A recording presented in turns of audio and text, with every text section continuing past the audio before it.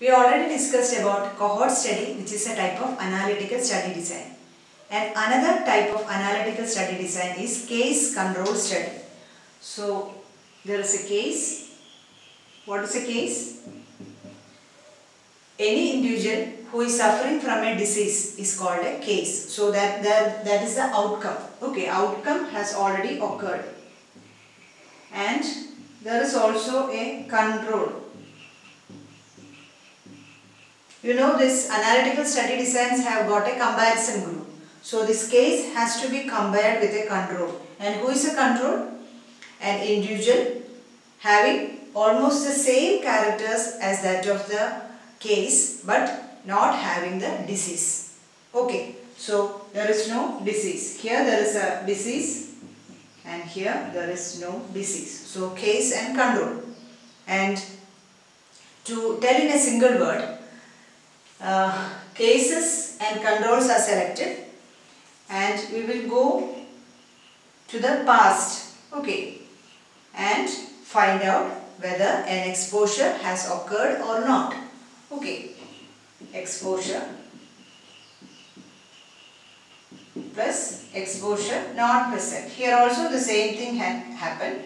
There can be exposure happened and there is no exposure and after that we are calculating the uh, exposure in cases and exposure in control and then finding out analyzing the frequency of exposure in cases to that of frequency of exposure in the control group. So this is case control study.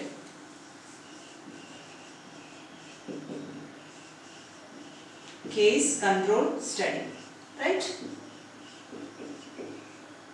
It's a type of analytical study and from this you can understand that this is going backwards. So this is a retrospective study. Okay.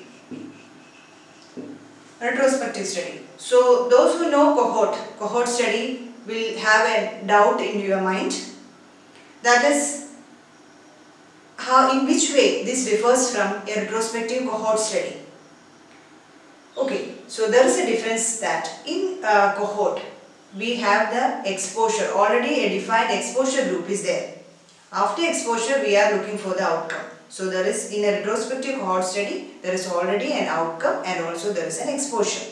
But in a uh, case control study the exposure has to be identified. We are looking for the exposure. What had happened at that time? Is that there was an exposure or not? That is what we are finding out in a case control study. So in a cohort study we are going from exposure to outcome. And in a case control study, we are going from the uh, outcome back into the exposure. So it is a, basically it is a retrospective study design, right?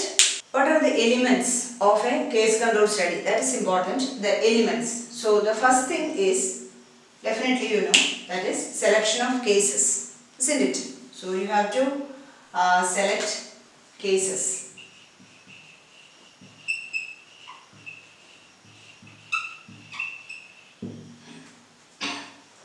These cases, uh, how will you select cases? Se cases are uh, present in the entire population and those having the disease or the outcome you are going to study. So it has already occurred. So from the whole population we have to get a sample according to um, sample size calculation or the, all the criteria, inclusion criteria, exclusion criteria.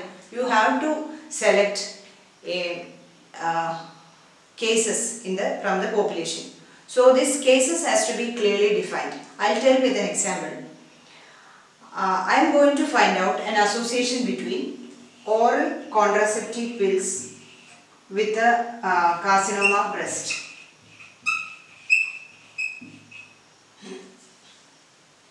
In females above 40 years of age. Above 40 years of age. So this constitute the cases. Okay, so the selection of cases is very uh, uh, important. You have to uh, define who are, how will you uh, select the cases, what are the diagnostic criteria, what are the inclusion criteria, what are the exclusion criteria, etc. should be clearly defined. Otherwise, there will be chance of selection bias, it will be there. Because already the outcome has already occurred. You know the uh, presence of an uh, CA breast. So if you are very clear in your definition of a CA breast, there is chance of a selection bias. Okay. And from where uh, will you get these uh, cases? It can be either from the hospital registry uh, or from your clinics, OPDs. From the registry you can select. It is very easy also. Or you can go to the population. If, uh, for example, if there is a population-based cancer registry, you can get the cases from there also. Okay. Then after that, second is you have to select the controls. The control should have all the characters as that of the uh, individual having the disease except the disease you are going to study. So a control uh, in a case of CA breast is a female above 40 years of age having the same uh, socioeconomic status or the same demographic features except CA breast, carcinoma breast. Okay, all the characters of if an X is having the disease the and X is the case, the uh, control should be the X without disease. It is very difficult to get. Selection of control is difficult. That is the main one of the disadvantages of the uh, case control study. And so we go for matching. You have to remember this term also matching. What is that matching?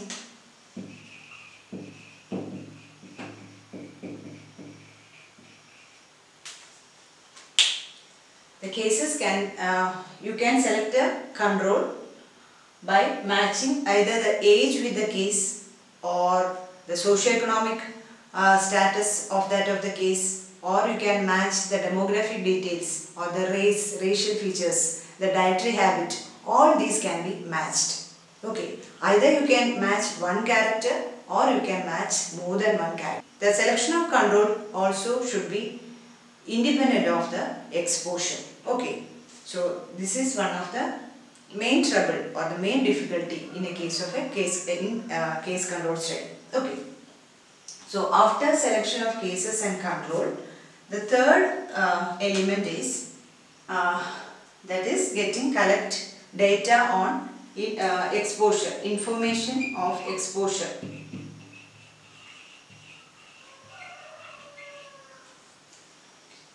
Each case, in each case you have to uh, uh, explore for information on exposure. This is also a little bit difficult because the patient uh, or a case and also the control uh, will have a recall bias because the uh, individuals will forget that whether an exposure, whether they have taken an oral contraceptive pill or sometimes uh, they will remember that they have taken an oral OCP but they will forget how long they are taking, how many times they are taking, etc. Especially in a case of control group. Those having the disease will remember sometime, most of the time, this those having the disease cases will remember on exposure but the control will not remember. So that is recall bias and again it is a uh, disadvantage or of the case control study. Okay, so that is uh, and also the data or information on exposure should be very objective. Even if you are taking so many times, you are repeating the question, the answer should be the same. It should be objective, should be highly objective, it should be precise and also it should be accurate. Okay, the information on exposure is very important. And then after that, the fourth element is analysis. Okay, here we are uh, finding out the odds ratio. So similar to that of a cohort study, you have to make a 2 into 2 table. This is the 2 into uh, 2 table in case of case control study. Uh, exposed, uh, unexposed, not exposed and cases and controls. Okay. But in case of cohort study, remember we uh, in the cohort study we put it as deceased and non-deceased. But here the case and control is already known. We know that and we are going back. So we are looking for odds that cases are exposed and to odds that controls are uh, exposed. What is the odds that cases are exposed?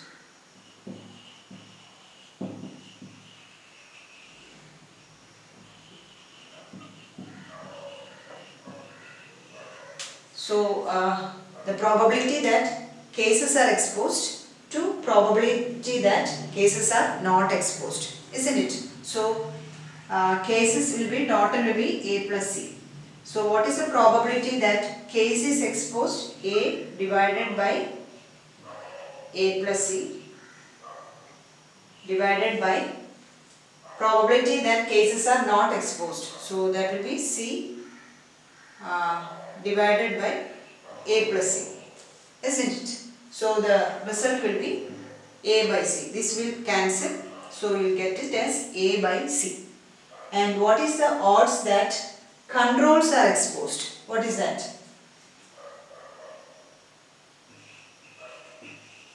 Odds of controls are exposed. That is probability that control is exposed. That is B divided by B plus D divided by probability that controls are not exposed. That is D. D divided by B plus D. So the answer will be b by D. Okay. So the odds that cases are exposed is A by C and odds that controls are exposed is B by D.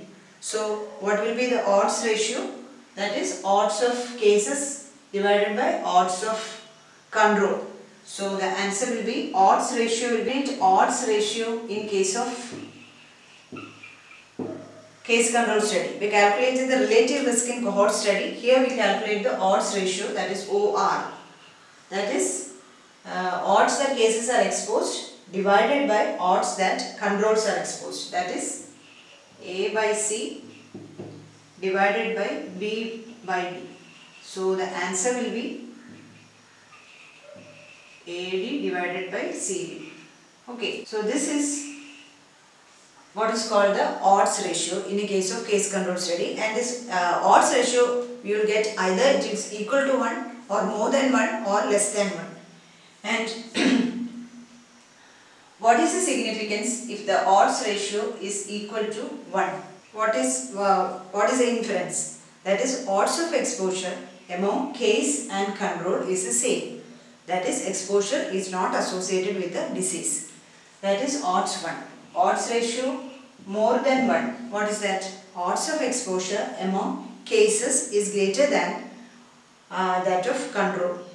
So exposure is positively associated with the disease. That or if the odds ratio is less than 1, what is the inference? That is the odds of exposure among cases are less than odds of exposure among controls. So there is a negative association between exposure and disease. So this is analysis part in case of a case control study and here you are not getting the incidence of disease because already the disease has occurred so we are not getting the incidence. Okay, in a way we can find out the prevalence. Anyway, it is not associated with incidence but cohort study is associated with the incidence, right? So, um, uh, in a case control study, the elements are selection of cases, then selection of control. Uh, after that, identification or the getting the information on exposure and then it is uh, analysis. So, what are the advantages and disadvantages of this um, case control study? All these are the advantages.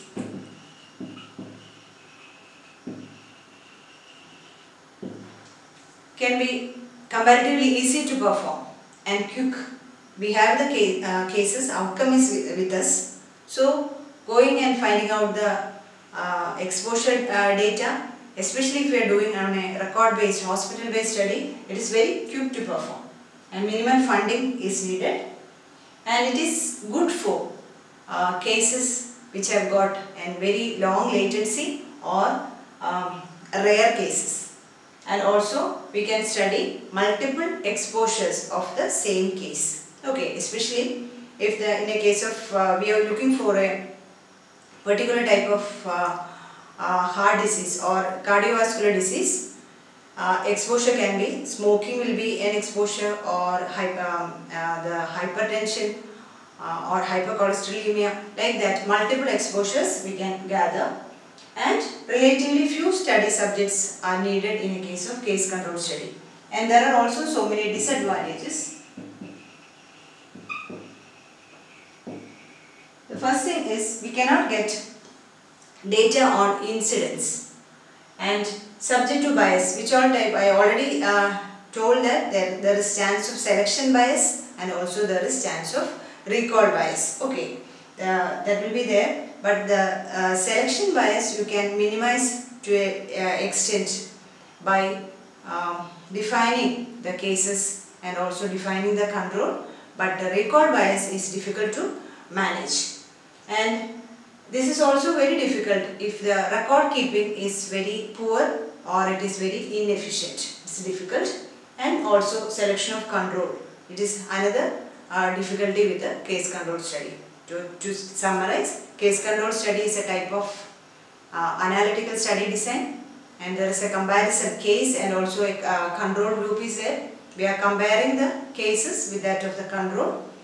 And uh, it, uh, we are going backwards retrospective study and finding out the exposure. And the selection of cases and selection of control should be uh, very accurate, well defined before starting of the study and in the analysis part it is the odds ratio we are finding out that is the odds of uh, cases that exposed to odds that controls are exposed. And we are not looking into the incidence of the study or an, an, we are not measuring the frequency of uh, disease right? So this is case control study